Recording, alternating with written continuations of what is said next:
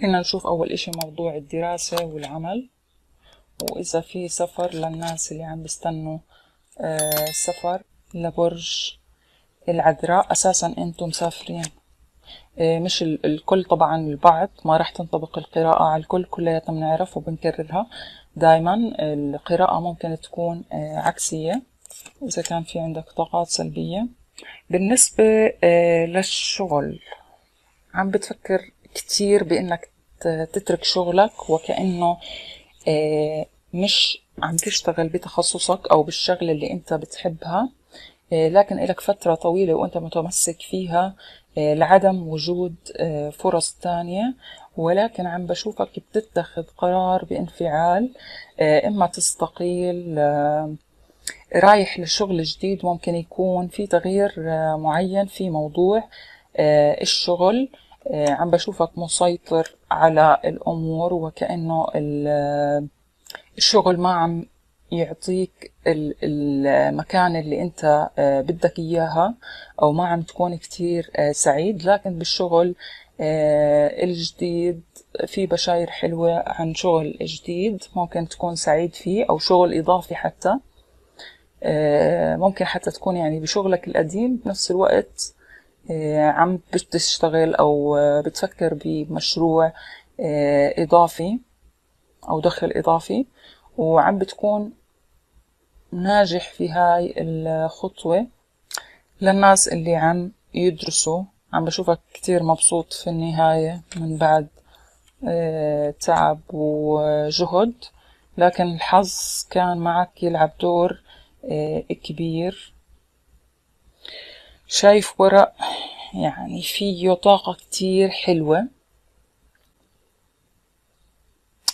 في خبرية في شغلة رح تصير للناس اللي بدرسوا حتى للناس اللي بيشتغلوا آه رح تكون عم تكون حلوة آه كتير عم تيجي من برج ناري. بالنسبة للطاقات أكترها آه أبراج نارية ومائية. وأيضا آه، هوائية. لكن الأكثر عم بتكون والله عم بيكونوا متساويين. بس الأقوى أكتر إشي ممكن تكون المائية. عم بلعب دور كبير في آه، موضوعك في الشغل آه، وفي الدراسة. خلينا نشوف للسفر للناس اللي بيستنوا سفر ممكن أو تغيير مسكن تغيير مكان تغيير اللي هو تغيير في المكان. عم بشوفك بتتعب كتير في هذا الموضوع ولكن ما حدا عم يعرف عم تشتغل بتكتم. على موضوع آه، السفر للناس اللي بدهم يسافروا وعم بتكون المادة هي الأساس اللي عم بتحرككم. يعني السبب هو المادة الفلوس اللي عم بخليكم تفكروا آه، في السفر أو في تغيير المكان. عم بيكون في أمل كبير وكأنه في ناس عم يعطيك أمل في موضوع السفر. لكن هل يحصل بشهر والله في تأخير شوي في موضوع السفر لكن أنت عم بتشتغل آه، عليه وفي أشخاص كمان آه، معك عم يشتغلوا على نفس آه، الموضوع لصالحك.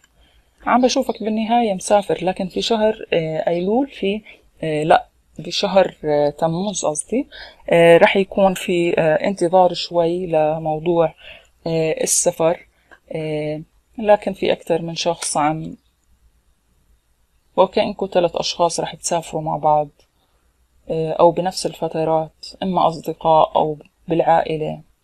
ممكن تكون لوحدك مسافر. ففي فرصة إنه آه، تكون بداية بشائر بالموضوع لكن أكون صادقة معاكم ما في سفر خلال شهر سبعة ولكن عم آه، بترتبوا للموضوع خلينا نشوف للعزاب إذا في عندهم فرصة للارتباط. استنيتوا برج السرطان البعض منكم استنى كتير ما ضل إلا القليل. عم بيكون في عندي ورقة أمل كبير أو شي عم تسمعوه عم آه، بفرحكم. الصديقات يمكن تجيكم فرصة. من خلال الأصدقاء. مثلا إنها تحكي آه، أو يحكي واحد من الأصدقاء إلك عن آه، عن شخص بده يرتبط فيك أو عم تلعب عم يلعب دور الأصدقاء في الموضوع أو المعارف ممكن. ممكن هذا الشخص يكون جديد ما تعرفه من قبل. عم تجمعكم صدفة أو من هذا آه، النوع. لا عم بشوف بشاير خير وأشياء حلوة كتير من بعد انتظار. في أكثر من فرصة ممكن آه، آه، تبين بالشهر تموز. لكن أنت راح تستقر على شخص واحد خلص راح يدخل مخك من أول مرة. وهو راح يكون المشاعر متبادلة بيناتكم. فورق حلو للعزاب خلينا نشوف المتزوجين والمرتبطين. أول شي المتزوجين. خلينا نشوف من برج السرطان. كيف الوضع بيناتهم في شوية مشاحنات اللي هي بيناتكم ما عم يتدخل حدا تاني. ما في علاقة آه، ثلاثية أو كانت في الماضي وفي طريقها إلى آه، الزوال. أنت أو الطرف الثاني القراءة ممكن تكون آه، عكسية لكن اللي هي مشاحنات مش مش كبيرة. الطرف الثاني عم بيخطط لموضوع. مش ضدك بس في طرف آه، تاني ما عم يكون مبسوط لهاي العلاقة إنها تستمر. عم بيحاول يحاول في تخريب الموضوع لكن ما أظن إنها علاقة ثلاثية للمتزوجين. بالنسبة للمرتبطين اللي مش متزوجين آه، كانت عندك رغبة في الابتعاد عن الشخص اللي أنت آه، معه. إنك خلاص تترك كل شي وتمشي ما بدك هاي العلاقة. لكن سرعان ما آه، بتتغير.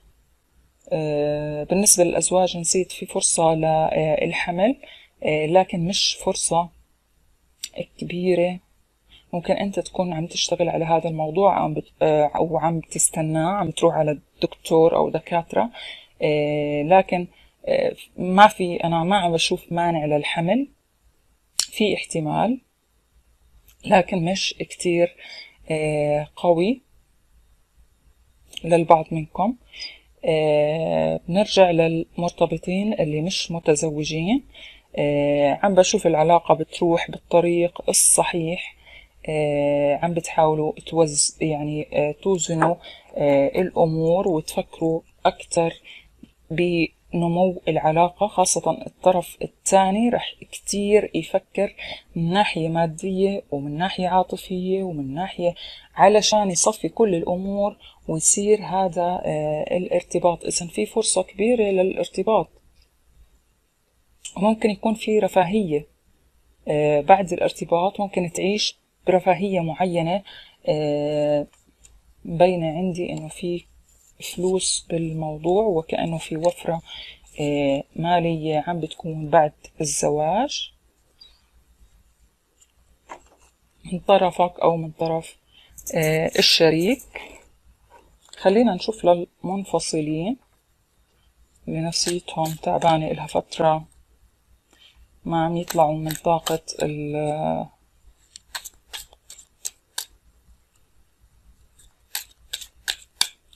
الزعل والتعب. خلينا نشوف أكتر شي للمنفصلين إيش مستنيهم عم بشوفك أنت كتير متوازن غير لما أول ما انفصلت. يعني في في نوع من التوازن وكأنك نجحت في إنك تطلع من الطاقة السلبية اللي كانت متواجدة عندك. كنت تفكر بإيجابية نحو آه، الانفصال وكأنك كنت تتخيل الأمور وهاي شغلة كتير حلوة تتخيل الأمور السلبية وكأنها إيجابية. آه، كنت عم تتبنى الفكر الإيجابي أكتر تطلع على حسنات الموضوع أكتر من سيئاته. آه، كنت تحارب كتير خلال العلاقة آه، لكن فيما بعد صار في خلص بعت كل شي ونسيت كل شي وخلص نويت على بداية جديدة عم تتطلع لقدام. وفي يعني في في خروج من من تعب في تقدم. خلينا نشوف الطرف الآخر كيف عم بفكر. والله الطرف الآخر جاي. جاي وعم بيقدم لك شغلة معنوية كتير ترفع لك من معنوياتك أو تخليك تقبل في الرجوع. هذا الشخص ممكن يكون اسمه ببلش بحرف الاي ممكن. مش مش يعني للبعض منكم. بس في شوية اللي هي غموض راجع بغموض معين وكأنك أنت شاكك فيه أو هو شاكك فيك. يعني رجوع لا رجوع أكيد في رجوع. هو ب... عم بفكر بإنفعالية إنه أنت كيف مطنشة وكيف عايش حياتك وكيف آه، وكأنك عم بتبين له أو أنت في, حقيقة الأمر في الواقع أنت آه، عم تطلع آه، من التفكير فيه ولكن هو عم بفكر فيك بطريقة كتير حلوة. عم بيكون في شغف وحنين من طرفه. طيب في رجوع ولا لا؟ ممكن يكون. في فرصة للرجوع آه، لكن عم ببين عندي في طرف ثالث لكنه بعيد عن قلب الشريك. وكأن الشريك بقارن بيناتكم بشوفك أنت اللي هو بحاجتك مش الشخص الثاني وكأنه لا يعني ما بيقدم له إشي هداك الطرف الثالث فعم يكون متشبث في التفكير آه، فيك الطاقات عم بتكون شوي مائية. ممكن برج أسد ممكن ممكن برج ناري. عم بشوفه من بعد ما كان آه لا آه لا آه وما عم يتخذ آه قرار معين آه خاص بعلاقتكم عم بفوت مفترق طرق ويقرر إنه آه، خلص يرجع لأنه شايف هذا الكرت لمصلحتك أنت. فممكن يكون في آه، رجوع في شهر تموز.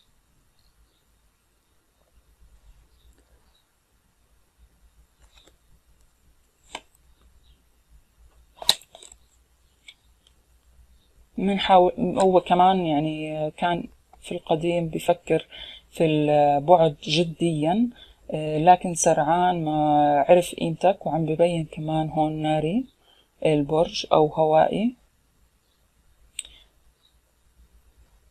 أو ممكن برج سرطان. أو ممكن ميزان. بس عم بشوفه يعني بيقاتل عشانك ممكن ما ما يقاتل أشخاص ممكن يقاتل صراع بينه وبين نفسه. آه، لكن الأمور عم بتروح آه، لصالحك. عم بيصير اللي بدك إياه بالتفاصيل. في شغلات أنت كنت طالبها في العلاقة. عم بتحسها عم تتحقق بالفترة الجاي وأكنها العلاقة رح تتزبط زي ما أنت كنت ناويها. لكن أنت حكيم في هاي الفترة. حتى بعد الرجوع رح تكون حكيم كتير. في فرصة إذا للرجوع فرصة كبيرة لبرج آه، العذراء. إذا وهون بين برضو ترابي. البرج ممكن تكون اللي تتعامل آه، معه. كمان هو عم بيتحلى بالفترة الجاي بحكمة من بعد ما كان اللي هو لعبي ومش عارف شو بده وساعة آه ساعة لا. عم بيكون كتير حكيم وعم يملك مفتاح قلبك هو. انت متعلق فيه كتير وهو متعلق فيك كتير. وحتفوزوا ببعض الفترة الجاي. ممكن تكون بالأسبوع الثاني أو الثالث بس في رجوع وفي انتصار كبير. أه وكأنك عم تكسب قلبه بطريقة اللي هي ما كنت أنت أه تتوقعها أبدا. آه شايفيتك آه، على مفترق طرق على يعني على قرار آه، مصيري. آه، لكن عم بيكون في سند إلك في هذا الموضوع. وكأنك عم تستشير شخص عم بيكون عم يعطيك القوة لحتى تكمل في هاي العلاقة. عم تستعد عم تكون مستعد للارتباط الرسمي أو الطرف الآخر ممكن يكون آه، هيك. في وفرة مالية أنا شايفيتها كمان لبرج آه، العذراء. رح تيجي عن طريق مثلا آه، أشخاص هاي الوفرة ممكن تكون الأهل أهل الشريك رح يساعدوا كتير في الموضوع لحتى تتم آه، خطوة آه، الارتباط. إذا رجوع وفي فرصة كبيرة للارتباط للمنفصلين من برج العذراء. خلينا نشوف نصائح آه، الكون أو الطاقة الكونية لبرج العذراء.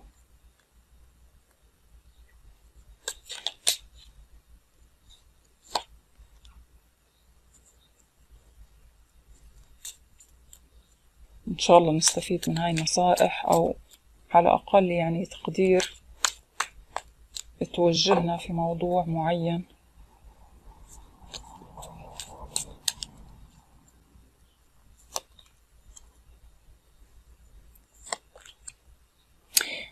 بحكي لك إنه بكفيك تحمل مسؤوليات عم تتحمل مسؤوليات حتى مسؤوليات غيرك. حتى لو كنت مع شريك عم تتحمل مسؤوليات أكتر منه أو تتبنى مسؤولياته. فبحكي لك خف شوي يعني.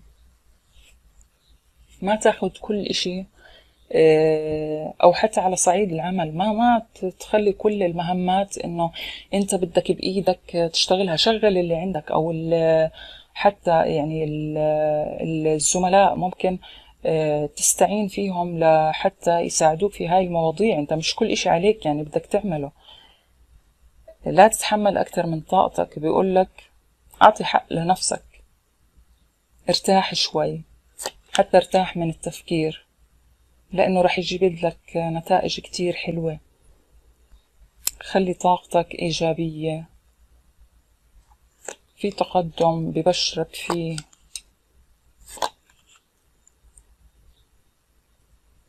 في قوة بال بالموضوع وكأنه القوة الداخلية بيحكي لك طلع القوة الكامنة الموجودة عندك في الداخل. ارجع لنفسك شوي ما تلتهي بالتانيين.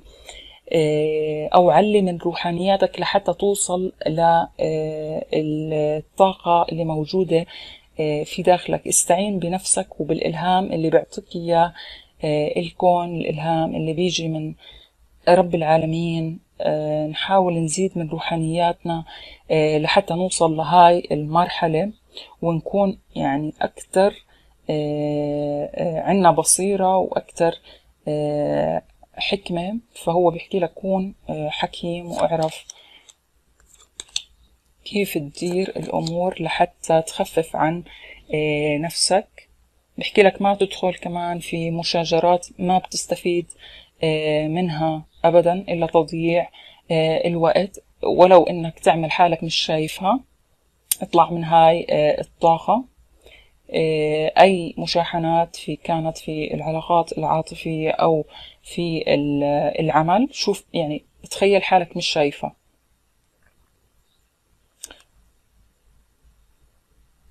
ما تشغل حالك كتير في هاي الأمور. برضو نفس الورق عم يتكرر. بيحكي لك إذا استعنت بطاقتك آه، الداخلية آه، ممكن يصير في تغيير كبير من حولك. إذا التغيير نابع من نفسك. إذا أنت ما غيرت اللي جواتك بيقول لك صعب إنه تحصل على نتائج أو يصير تغيير آه، اللي أنت ناوي عليه. فخلي طاقتك لإلك ما تعطيها للتانيين وتفرقها بالتفكير آه، بالآخرين.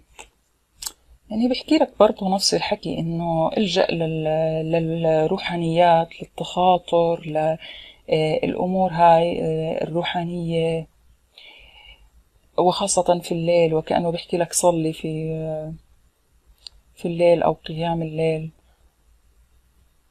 هيك الكروت أكتر إشي عم بتبين. لبرج السرطان إذا برج إيجابي عم بتكون التوقعات لهاي آه، الشهر. لكن بنسبة ممكن سبعين بالمية آه، في أشياء ما حتيجي كتير على ذوقنا. لكن في حظ بالموضوع وفي أشخاص عم بيساعدونا وفي رجوع للمنفصلين آه، في بشاير اللي هي ارتباط للعزاب.